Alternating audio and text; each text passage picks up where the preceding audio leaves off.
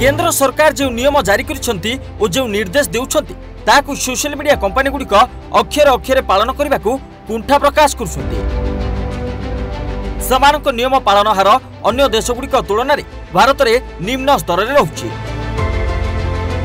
ଏହାର ପଛର କାରଣ ଜାଣିବା ଲାଗି କେନ୍ଦ୍ର ସରକାର ଟ୍ୱିଟର ଓ ଫେସବୁକକୁ ଜବାବ ତଲବ କରିବା ଉପରେ ବିଚାର କରୁଛନ୍ତି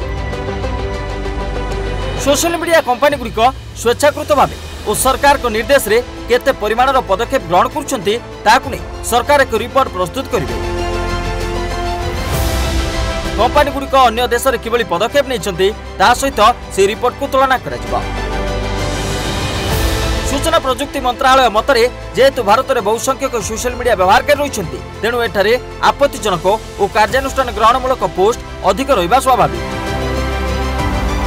ଏହା ସତ୍ତ୍ୱେ ସୋସିଆଲ ମିଡିଆ କମ୍ପାନୀଗୁଡ଼ିକ ଅନ୍ୟ ଦେଶ ତୁଳନାରେ ଭାରତରେ ନୀତି ନିୟମକୁ ଠିକ୍ ଭାବେ ପାଳନ କରୁନାହାନ୍ତି।